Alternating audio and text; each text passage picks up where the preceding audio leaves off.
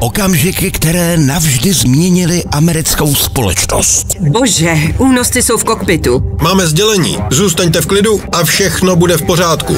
Minutu po minutě si připomeneme události nejtemnějšího dne v historii Spojených států. Ve Světovém obchodním centru hoří. Dvě letadla narazila do Světového obchodního centra při zjevném teroristickém útoku na naši zemi. 11. září, minutu po minutě. V pátek ve 20 hodin na CS History.